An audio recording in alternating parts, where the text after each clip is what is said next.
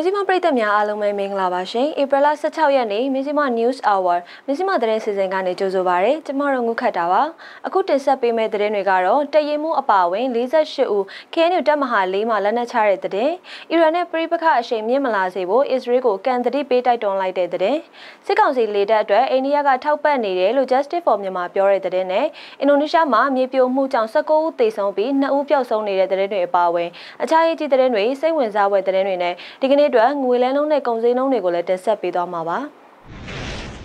တနင်္သာရီတိုင်းဗိတ်မြို့အခြေဆိုင်ခြေလင်းတက်ရင်ခလာရ133ကတရင်မှုအပါဝင်စစ်ကောင်စီတပ်သား48ဦးကရေမျိုးသားအစည်းအရုံး KNU တပ်မဟာ၄ဗိတ်တဝဲခရိုင်စီမှာလက်နက်ချအညံ့ခံခဲ့တယ်လို့ KNU ဗဟိုကသတင်းထုတ်ပြန်ပါတယ်။ကံဝရန်ဒေတာတိုင်းစစ်ဌာနချုပ်ကခရဗိတ်လက်အောက်ခံခလာရ103ကစစ်ကောင်စီတပ်သား48ဦးဟာဧပြီလ15ရက်နေ့မှာလက်နက်ကြီးလက်နက်ငယ်68လက်နဲ့အတူလက်နက်ချအညံ့ခံခဲ့တာဖြစ်ပါတယ်။လက်နက်ချစစ်ကောင်စီတပ်ဖွဲ့ဝင်တွေဟာထိုင်းမြန်မာနယ်စပ်ကသူတို့ရဲ့ရှေ့တန်းစခန်းကိုတွန့်ခွာပြီး T-Tac ဗျူဟာကုန်းကိုအင်အားစုပေါင်းလာတဲ့အချိန် T-Tac နဲ့မော်တာဒေတာကြားမှာတပ်မဟာလေး KNL ရဲ့ဂျားဖြတ်တိုက်ခိုက်မှုကိုခံခဲ့ရတာကြောင့်တပ်ဖွဲ့ဝင်တချို့ကြာဆုံးပြီးတဲ့နောက်တပ်ဖွဲ့လုံးလက်နက်ချလိုက်တာပဲဖြစ်ပါတယ်။လက်ရှိမှာလက်နက်ချခဲ့တဲ့စစ်ကောင်စီတပ်သားတွေကိုစစ်တုံးမှန်ဥပဒေနဲ့အညီထိန်းသိမ်းဆောင်ရှောက်ထားတယ်လို့ KNU ကပြောပါတယ်။အခုဧပြီလဇန်ပိုင်းမှာလည်းတင်ကန်းကြီးနောင်ဗျူဟာကဗျူဟာမှုအပါအဝင်စစ်ကောင်စီတပ်ဖွဲ့ဝင်နဲ့သူတို့ရဲ့မိသားစုဝင်600ကျော် KNU စီမှာလက်နက်ချအညံ့ခံခဲ့ပါတယ်။လက်နက်ချစစ်တုံးမှန်တွေကိုသူတို့ရဲ့သဘောဆန္ဒမပါဘဲစစ်ကောင်စီစီကိုပြန်လွှဲပေးမှာမဟုတ်ကြောင်း KNU ပြောခွင့်ရဘဒူစောတော်နေက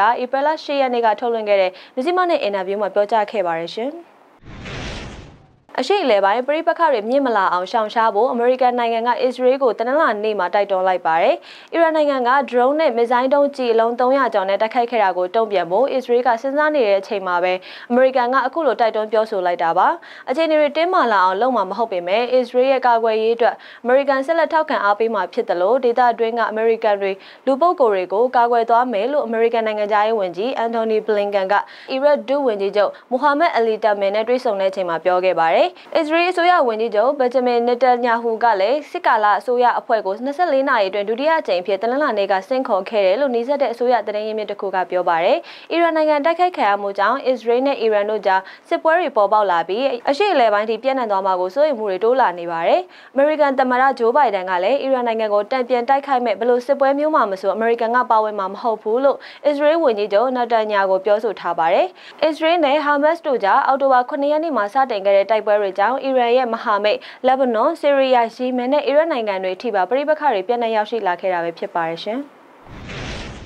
လေကြောင်းတိုက်ခိုက်မှုတွေကိုစက်တိုက်ပြုလုပ်နေတဲ့စစ်ကောင်စီလေတပ်အတွက်အာယုံခံကရိယာတွေအပူချိန်တိုင်းကရိယာတွေတိုင်းတာရေးနဲ့လေကြောင်းလမ်းညွှန်ကရိယာတွေတင်နန်းတင်ထောက်ကူပစ္စည်းတွေအိန္ဒိယကထောက်ပံ့နေတယ်လို့ Justice for Myanmar GFM ကပြောပါရယ်2024ခုနှစ်ဇန်နဝါရီလ2ရက်နေ့မှာအိန္ဒိယလေတပ်ရဲ့31ရွေလျားထိန်းချုပ်ယူနေ MCU ဟာရန်ကုန်မြို့မင်္ဂလာတော်လေတပ်စခန်းဌာနချုပ်မှာရှိတဲ့စစ်ကောင်စီလေတပ်ရဲ့ပြည်ပြင်ထိန်းသိမ်းရေးဌာနကိုကာကွယ်ရေးပစ္စည်းတွေလို့အမည်တပ်ပြီးပစ္စည်းအရေအတွက်52မျိုးစစ်ကောင်စီလေတပ်စခန်းဌာနချုပ်ရဲ့ပြည်ပြင်ထိန်းသိမ်းရေးတပ်တရေးမှုဗိုလ်မှူးတန်းစင်အောင်စီကိုလိမ့်မှုပေးပို့ခဲ့တယ်လို့ GFM ကဆိုပါတယ်31 MCU ဟာအိန္ဒိယလေတပ်ပြည်ပြည်ထိန်းသိမ်းရေးဌာနချုပ်ရဲ့အစိပ်ပိုင်းတစ်ရက်ဖြစ်ပြီးနယူးဒေလီမှာရှိတဲ့ပလန်လေတပ်စကန်ဌာနချုပ်မှာအခြေစိုက်ပါတယ်ရွေရှားထိန်းချုပ်ယူနစ်တွေဟာအိန္ဒိယလေတပ်ရဲ့ထောက်ပံ့ပို့ဆောင်ရေးမှာအဓိကအခန်းကဏ္ဍအနေနဲ့ပါဝင်ပြီးလေတပ်ကိုစားကုန်စည်တင်သွင်းမှုနဲ့တင်ပို့မှုကိုလှုပ်ဆောင်ပေးပါတယ်တင်ပို့ခဲ့တဲ့ကုန်စည်တွေမှာအာယုံခံကရိယာတွေအပူချိန်တိုင်းကရိယာတွေတိုက်တာရင်းနဲ့လေကြောင်းသွားလာမှုလမ်းညွှန်ကရိယာတွေတင်နန်းတင်ထောက်ကိုပစ္စည်းတွေပါဝင်ပါတယ်။ဒီကုန်စည်တွေဟာအလိုလျောက်စနစ်မိုးလေဝသအထိုင်ဆက် AWS တခု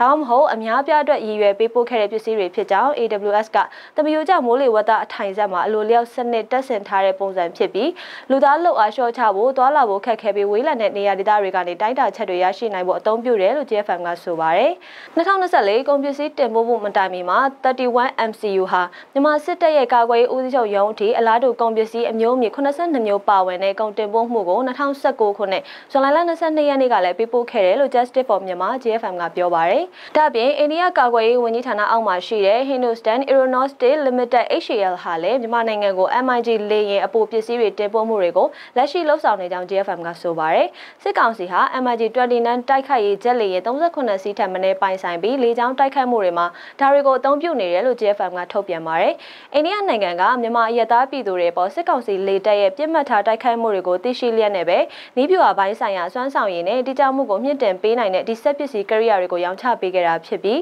ဒီပညာကိုညီတွေကိုလည်းတိုက်ရိုက်ပေးရခဲ့တာဖြစ်တယ်လို့ GFM ကပြောပါရယ်အိန္ဒိယအနေနဲ့မြန်မာစစ်တပ်စီကိုစစ်လက်နက်နဲ့ဆက်ဆက်ပစ္စည်းတွေနီးပညာနဲ့လောင်စာစီတွေလွှဲပြောင်းရောင်းချမှုအားလုံးကိုချက်ချင်းပိတ်ပင်ဖို့စစ်တပ်ဘက်ဆိုင်ရာလေးကျစ်တန်တဲ့အားလုံးကိုချက်ချင်းရပ်ဆိုင်ဖို့အိန္ဒိယနဲ့ကာကွယ်ရေးပစ္စည်းထုတ်လုပ်ရေးဌာနတို့ရဲ့စီးပွားရေးဆက်ဆံမှုရှိကြတဲ့အစိုးရတွေကုမ္ပဏီတွေအနေနဲ့မြန်မာစစ်အုပ်စုကိုထောက်ခံပံ့ပိုးပေးနေမှုအားလုံးကိုပိတ်ပင်နိုင်မှုအတွက်စီးရုံးတိုက်တွန်းတာမှာဩဇာလွှမ်းမိုးမှုကိုအသုံးချသင့်တယ်လို့ GFM ကတောင်းဆိုထားပါတယ်။စစ်ကောင်စီက2023ခုနှစ်နောက်ဆုံး၄လအတွင်းလေကြောင်းတိုက်ခတ်မှု950ကျော်ကိုပြုလုပ်ခဲ့ပြီးပြန်မြအားဖြင့်တရက်ကိုလေကြောင်းတိုက်ခတ်မှု6ကြိမ်ပြုလုပ်နေတာတွေ့ရကြောင်း GFM ကပြောပါရရှင်။ပြည်တွင်းသတင်းတွေကိုစူးစီးတင်ဆက်ပေးခဲ့တာပါအခုတော့နိုင်ငံတကာသတင်းတွေနဲ့ဆက်ချင်ပါတယ်ဒီသတင်းတွေကိုတော့ကိုနေဦးမောင်ကပေးပို့ထားတာပဲဖြစ်ပါတယ်အင်ဒိုနီးရှားမှာမြေပြိုမှုကြောင့်19ဦးသေဆုံးပြီး2ဦးပျောက်ဆုံးနေတဲ့သတင်းကိုကြည့်ရအောင်ပါ အင်ဒိုနီးရှားနိုင်ငံအလဲပိုင်းမှာမြေပြိုမှုဖြစ်ပွားခဲ့ရာအနည်းဆုံးလူ19ဦးသေဆုံးပြီး2ဦးပျောက်ဆုံးနေကြောင်းဒေသဆိုင်ရာတာဝန်ရှိသူတွေကဧပြီလ14ရက်တနင်္ဂနွေနေ့ကပြောကြားလိုက်ပါတယ်။တေဆုံးသူတွေရဲ့ရုပ်အလောင်းတွေနဲ့အသက်ရှင်ကျန်ရည်သူ2ဦးကိုတောင်ပိုင်းဆူလာဝေစီပြည်နယ်တာနာတိုရာဂျာခရိုင်ရှိမြေပြိုမှုဖြစ်ပွားခဲ့ရာရွာနေရွာကနေစနေနေ့ညနေပိုင်းကဆွဲထုတ်နိုင်ခဲ့ကြောင်းဒေသဆိုင်ရာတဘာဝဘေးအန္တရာယ်အေဂျင်စီအကြီးအကဲဆူလိုင်မန်မာလီယာကပြောပါတယ်။ တောင်ပိုင်းမာကာလီမှာတေဆုံးသူ၄ယောက်မာကာလီရွာတွေကတေဆုံးသူ15ယောက်နဲ့အားလုံး19ယောက်အသက်ဆုံးရှုံးခဲ့ရပါတယ်။လောလောဆယ်ပျောက်ဆုံးနေသူတွေကိုရှာဖွေကယ်ဆယ်ရေးတွေလှုပ်ဆောင်နေပါတယ်လို့မာလီယာကတနင်္ဂနွေနေ့ကပြောပါတယ်။တာနာဒိုရာဂျာနဲ့အနီးနားဒေသတွေမှာလွန်ခဲ့တဲ့သတင်းပတ်များအတွင်းအဆက်မပြတ်မိုးတဲထန်ခဲ့ပြီးအခုလိုမြေပြိုမှုတွေဖြစ်ပွားခဲ့ခြင်းဖြစ်ကြောင်းသူကဆက်ပြောပါတယ်။ အင်ဒိုနီးရှားဟာမိုးရာသီမှာမြေပြိုမှုတွေဖြစ်ပွားလေရှိပေမဲ့နောက်ပိုင်းနှစ်တွေအတွင်းအချို့ဒေသတွေမှာတက်တော်ပြုံနေမှုကြောင့်အခြေအနေပိုမိုဆိုးရွားလာနေပါတယ်။ပညာတတ်အလုပ်လက်မဲ့တွေများနေတဲ့အိန္ဒိယရဲ့လူငယ်မဲဆန္ဒရှင်တွေဒေါသထွက်နေတဲ့တဲ့တင်ကိုဆက်ကြည့်အောင်ပါ။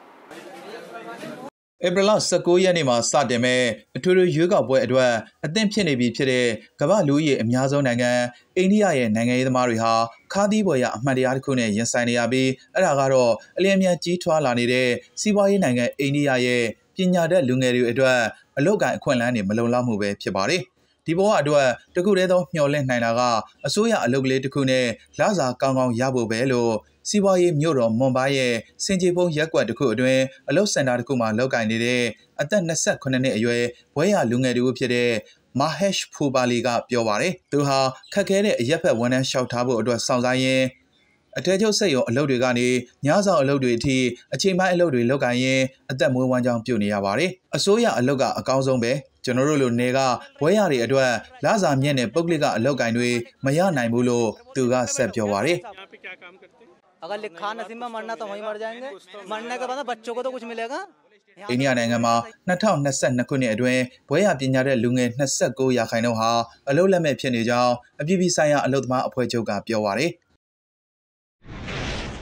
မြောက်ကိုရီးယားခေါင်းဆောင်ကင်ဂျုံအန်ကတရုတ်နဲ့ဆက်ဆံရေးကဏ္ဍအသစ်အတွက်ဝမ်းမြောက်ကြောင်းပြောဆိုလိုက်တဲ့သတင်းနဲ့ဆက်ချင်ပါတယ်ဒီသတင်းကိုလည်းကိုနုံမောင်ကပေးပို့ထားတာပဲဖြစ်ပါတယ်ရှင်။မြောက်ကိုရီးယားခေါင်းဆောင်ကင်ဂျိုအန်နဲ့တရုတ်ထိပ်တန်းဥပဒေပြုလွှတ်တော်အမတ်တို့ပြုံယမ်းမှာတွေ့ဆုံခဲ့ပြီးဘေကျင်းနဲ့ပြုံယမ်းကြားတန်တမာရေးကဏ္ဍတဲ့အတွက်ဝမ်းမြောက်ကြောင်းဧပြီလ23ရက်စနေနေ့ကပြောဆိုလိုက်ပါတယ်။တရုတ်ကွန်မြူနစ်ပါတီပေါ်လစ်ဗျူရိုရဲ့အမြဲတမ်းကော်မတီအဖွဲ့ဝင်ဘေကျင်းရဲ့တတိယအဆင့်မြင့်ဆုံးအရာရှိကျိုလက်ဂျီဟာ ဒီသတင်းပတ်အတွင်းနှစ်နိုင်ငံတန်တမန်ဆက်ဆံရေး85နှစ်မြောက်အထိမ်းအမှတ်အဖြစ်မြောက်ကိုရီးယားကိုချစ်ကြည်ရေးအလဲဘက်ခီးရောက်ရှိနေတာဖြစ်ပါတယ်။တရုတ်ဟာမြောက်ကိုရီးယားအတွက်အရေးအပါဆုံးနဲ့စီးပွားရေးနဲ့တန်တမန်ရေးရာမဟာမိတ်ဖြစ်တဲ့အပြင်လုံခြုံရေးကောင်စီမှာလည်းအမေရိကန်ဦးဆောင်တဲ့ဒဏ်ခတ်အရေးယူမှုတွေကိုရုရှားနဲ့အတူပိတ်ဆို့ပေးနေတဲ့နိုင်ငံဖြစ်ပါတယ်။ ဂျိုလက်ဂျီဟာတောက်ကြနေကပြုံရမ်းမှာတရုတ်ကိုရီးယားချစ်ကြည်ရေးခွဲ75နှစ်မြောက်နှစ်ပတ်လည်အထိမ်းအမှတ်ဖွင့်ပွဲအခမ်းအနားကိုတက်ရောက်ခဲ့ပြီးနောက်စနေနေ့ကကင်ဂျုံအန်နဲ့တွေ့ဆုံခဲ့ကြောင်းဘေကျင်းအစိုးရရဲ့စင်ဝါသတင်းအေဂျင်စီမှဖော်ပြပါရှိခဲ့ပါတယ်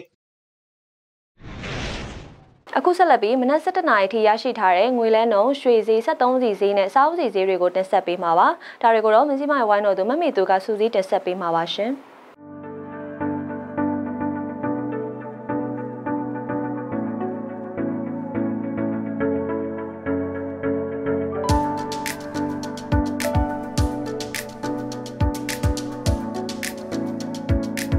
ဒီနေ့အတွက်နောက်ဆုံးရငွေလဲလှယ်နှုန်းတွေကတော့အမေရိကန်ဒေါ်လာကိုစစ်ကောင်စီသတ်မှတ်စေ2100ကျပ်ပြည်ပရောက်လုံသားလာစာနှုန်း3450ကျပ်ပြင်ပပေါက်စေ3890ကျပ်စင်ကာပူဒေါ်လာကိုစစ်ကောင်စီသတ်မှတ်စေ1551တသမ4ကျပ်ပြည်ပရောက်လုံသားလာစာနှုန်း2549ကျပ်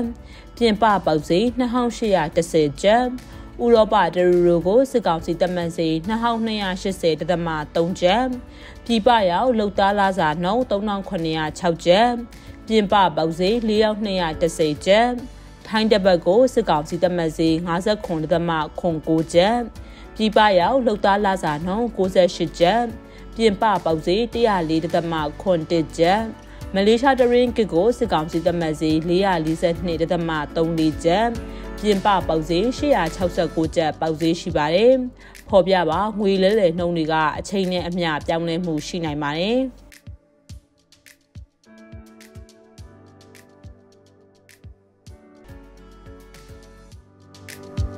နောက်ဆုံးရပြည်ရင်းရွှေစည်းနှုံတွေကတော့အခောက်ရွှေစည်းတစ်ချက်သားကိုရွှေကုန်တဲ့အတင်းသက်မှတ်စေ39သိန်း99,400ကျပ်ပြင်ပပေါက်ဈေး48သိန်း1000ကျပ်15ပဲ့ရီတစ်ချက်သားကိုရွှေကုန်တဲ့အတင်းသက်မှတ်စေ38သိန်း49,093ကျပ်ပြင်ပပေါက်ဈေး44သိန်း3000ကျပ်ပေါက်ဈေးရှိပါတယ်ဖော်ပြပါရွှေဈေးနှုန်းတွေကအချိန်နဲ့အမျှပြောင်းလဲမှုရှိနိုင်ပါတယ်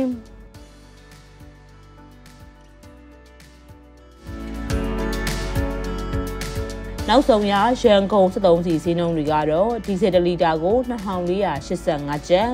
ပရီမီယံဒီဇယ်1လီတာကို2530ကျပ်အောက်တိန်92တလီတာကို2820ကျပ်အောက်တိန်95တလီတာကို2905ကျပ်ပေါက်ဈေးရှိပါတယ်ဖော်ပြပါဈေးနှုန်းတွေကအချိန်နဲ့အမျှပြောင်းလဲမှုရှိနိုင်ပါတယ်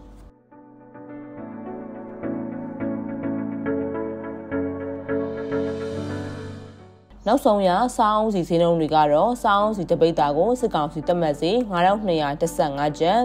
ပြင်ပပေါက်ဈေးမှာတော့တပိတ်တာကို15000ကျပ်ပေါက်ဈေးရှိပါတယ်အခုဖော်ပြပါဈေးနှုန်းတွေကတော့အချိန်နဲ့အမျှပြောင်းလဲမှုရှိနိုင်ပါတယ်ရှင်မြစီမ News Hour မြစီမသတင်းစီစဉ်ကိုတင်ဆက်ပေးခဲ့တာပါကြည့်ရှုအားပေးကြတဲ့ပရိသတ်များအားလုံးကိုကျေးဇူးထူးတင်ရှိပါတယ်ရှင်